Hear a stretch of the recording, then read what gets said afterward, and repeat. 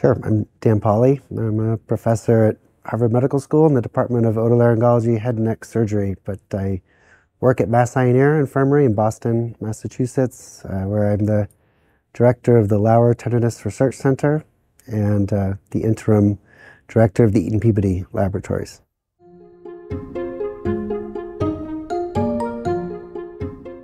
Animal models for tinnitus. Well, the, I think the um, the best way to think about what animals can do for tinnitus research is not to model the very complex, uh, complete disorder of tinnitus, but rather to model a biomarker that is thought to be critical to the symptoms of tinnitus. So what I mean by that is um, it's no longer really in vogue to say you have a mouse model of, say, autism, but rather there's a, a feature of that's found in the brains of an autistic person, like an excitability feature or a certain circuit in the brain that is uh, abnormal, and it's that that abnormality that you can model in a mouse. The the more complex behavior and the sort of spectrum of of mood and stress and perception that are that are part of tinnitus is, I think, implausibly modeled in a mouse. Even the whether mice hear a phantom sound is, um, I think, very much open to debate, and the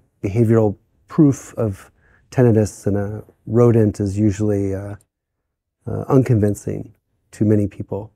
But what, what the animal models are great at um, is latching on to a biomarker that's seen in humans and showing that you can produce it in an animal and then being able to drill down to the cell types and the features that would be therapeutic targets. So the animals have a critical role to play um, in the search for a, a, a, effective treatment for tinnitus, but um, more as um, modeling a, a, biomarker and identifying uh, therapeutic targets.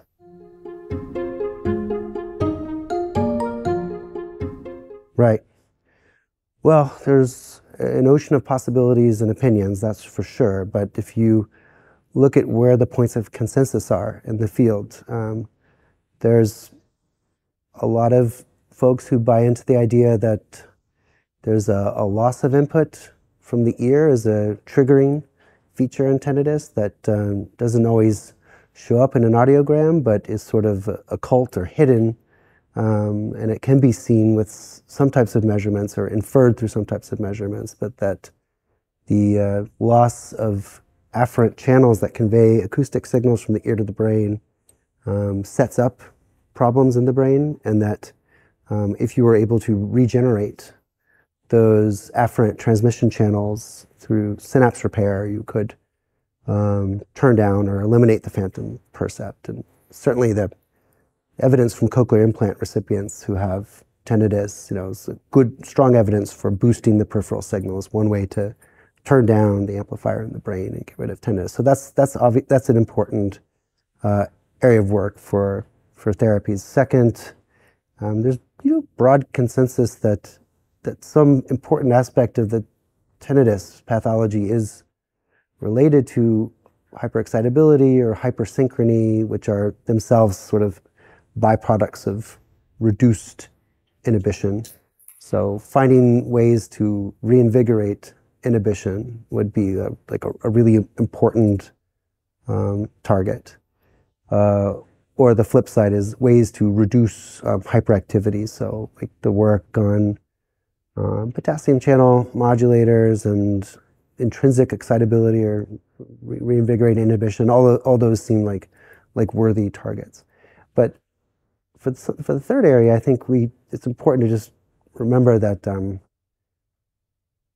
the burden of tinnitus um, um, is not highly correlated to the whether you hear the phantom sound or not. I mean, there's a lot of people that have uh, tinnitus percept. I have tinnitus, and I'm among the fortunate who have it, but it doesn't really bother me. And there's others for whom it's uh, debilitating and all these things that we're talking about that researchers are keen on studying don't really relate to the how um, disruptive tinnitus is in life. It's all very upstream, very early. That it's a purely auditory disorder, but tinnitus disorder, the people who who experience um, mood dysregulation and anxiety and, and so forth. That's there's some other important target, and I think problem is that um, the things that we measure in animals and humans are less related to burden, even though burden is the sort of outcome that the clinicians and the patients care most about. So I think that's a really important um, area for research.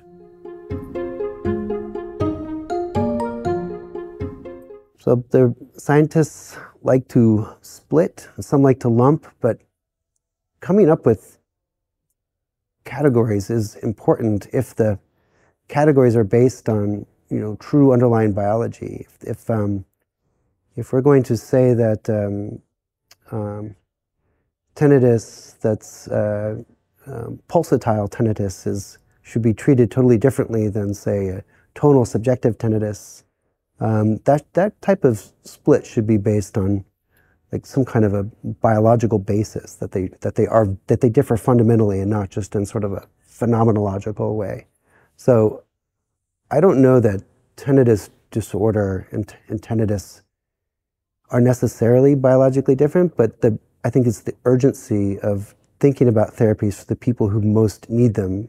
Um, that's clearly important, and what what distinguishes the people that for whom it's a, a disorder is that it's it's it's disruptive and debilitating and the, the things that make it disruptive and debilitating aren't necessarily the auditory nerve loss or the uh, hyperexcitability in early stages of the auditory system. That doesn't get you to the mood dysregulation. Um, for that, you need to think about other brain systems. And um,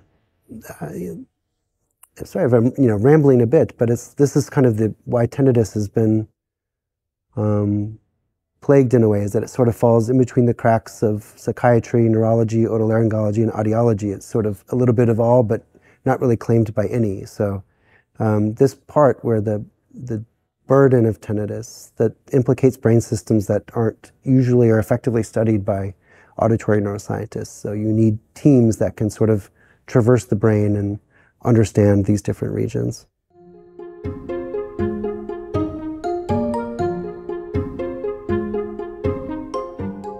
Well, I think that's you know probably the most commonly performed type of study. They recruit relatively small samples and discretize them into tinnitus yes or no, um, and then any differences that you find could be speculated to be reflective of the tinnitus, and so that the problems with that kind of work and the reason that there's kind of a, a ceiling on how far that kind of work could go is that um, what do those differences reflect? Is it the tinnitus? Is it the hearing loss? Is it the uh, anxiety that comes with tinnitus or the depression?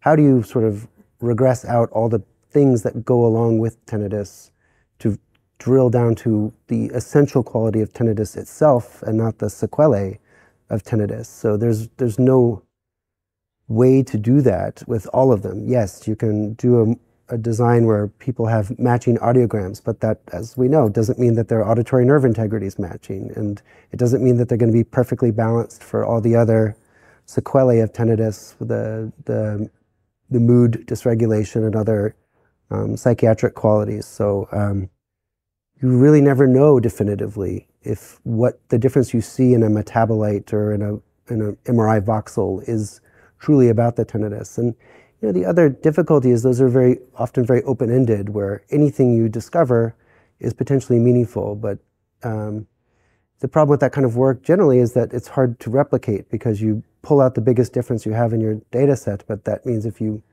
collected another data set, would the same thing come out to be the biggest difference? I mean, it's just generally, there's always noise in any sample. So whatever's the biggest is, um, you know, things regress to the mean. So if if you have hypotheses that you're testing, um,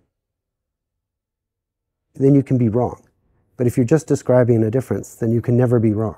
And that's why those publishing those papers is kind of habit forming because you always find something. There's always something publishable. But but you know, to move ahead, we have to say what are the dominant hypotheses hypotheses about the generators of tinnitus and the qualities that make tinnitus so burdensome for some, and then to test the hypotheses with experiments where you can disprove the hypothesis, right? Um, so, so that's that's how science advances, right? That's you take a condition that is well understood and for which there are good treatments, um, say say epilepsy. Okay, so epilepsy, there's a biomarker. There's there's seizure. You can measure it with uh, EEG electrodes. Um, you can measure seizure in a mouse too, and that means that you can in the animal or any animal really, you can go down into the cellular level, the molecular level, and identify the causes of these seizures. Like you may not be modeling epilepsy in the mouse perfectly, but you are modeling seizure. And then you can identify the types of channels and receptors that cause the seizure. And you can take those candidate therapies and you can scale them back up to humans and you can do proper clinical trials. Um, so that's, there are success stories in neurology. And if tinnitus is going to join their ranks, we have to find the meaningful biomarkers in human subjects that relate not just to do you hear a phantom sound, but is it bothersome to you?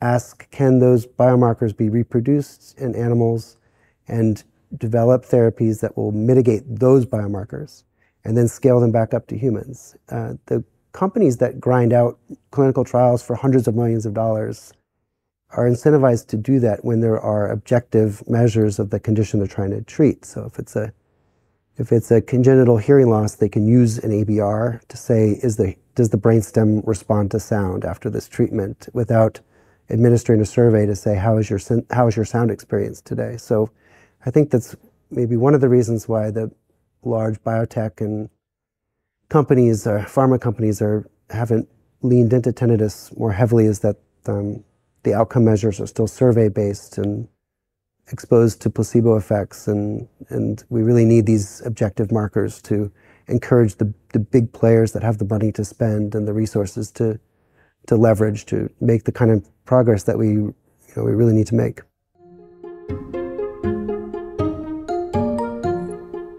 Well, I mean, we all researchers have a certain set of training, and that defines like the type of things that they're interested in. And my there's lots of interesting, important things to do with tinnitus. I think that take the work of somebody like Thanos Tzounopoulos, who's a synaptic physiologist, of course, he's going to be looking at um, um, channels and receptors. So th that work is important. Um, um work like um, Stefan Maison on uh, biomarkers of auditory neuropathy are really important. But my my training is in brain plasticity, and my particular point of view is that um, that tinnitus reflects a particular type of hyperactivity in auditory centers of the brain that imitate the patterns of activity of when there is sound present, and that um, the goal to get, get rid of tinnitus isn't to necessarily bring all activity back to normal, but it's just to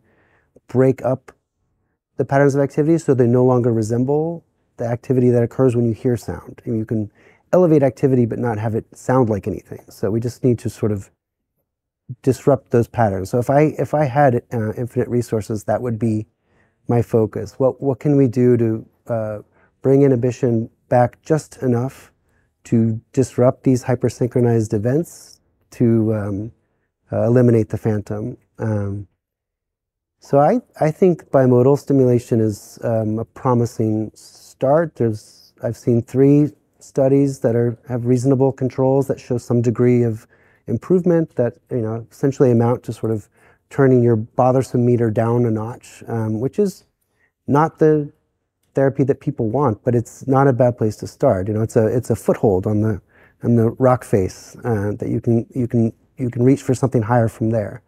So I, I would I'm planning to focus on um, ways to sort of amplify those kinds of effects um, um, by embedding them in conditions where the brain becomes more plastic. Basically, I think the the um, way to go from there is that the, to create plasticity in adult brains, you need to push adult brains into modes where they are where they are plastic, so they can reorganize and and retain that reorganize organization, and sort of passively stimulating the human nervous system doesn't usually put the brain into the levels of reorganization that you would you would need for a long-term benefit. So I feel like there's a good some good hints out there about and and to build off of those.